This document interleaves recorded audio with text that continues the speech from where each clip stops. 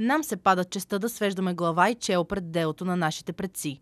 Това заяви заместник председателя на Народното събрание Явор Нотев по време на тържественото заседание на парламента във Велико Търново по повод 140 години от Търновската конституция.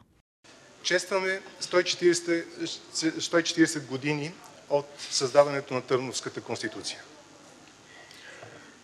Събитие, към което пряко отношение и пряк принос никой от присъстващите залата няма. Такива са биологичните, такива са историческите закони. Нам се пада честа да свеждаме глава и чело пред делото на нашите предци, да се кълнем в спазването на Конституцията при изпълнение на нашите обвязаности, при изпълнение на нашия служебен дълг, а защо не е при изпълнение на гражданския си дълг? Дълга като граждани на Република България. Като казвам това, припомням, че след Търновската конституция са приети още три, общо са четири конституциите на нашата страна. Стожерите в държавното управление, основния стълб в него. Следването и изпълнението на законите е основно задължение на всеки гражданин.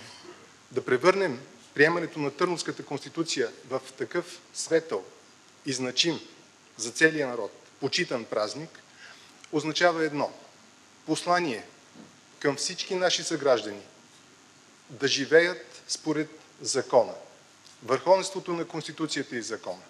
Спазването на върховенството на Конституцията и закона, уверявам ви, е правия и пряк път към просперитета и добруването на нашата страна. Като български народни представители имаме своите задължения по Конституция, а и като хора и граждани, да се вслушваме в гласовете, които критикуват, които търсят слабостите на основния закон. Слабостите в цялата законодателна и правоприлагаща система.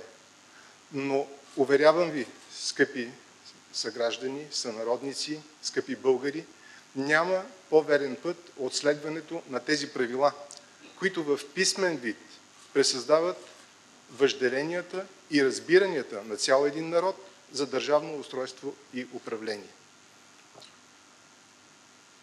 По този начин, призовавайки всички да бъдем съдии на делата си, съдии над самите себе си, а и прокурори, господин главен прокурор, на себе си, нека да бъдем неотклонни в следването на законността в страната. Уважаеми българи, уважаеми убедени и обединени патриоти, честит празник! Да живее България!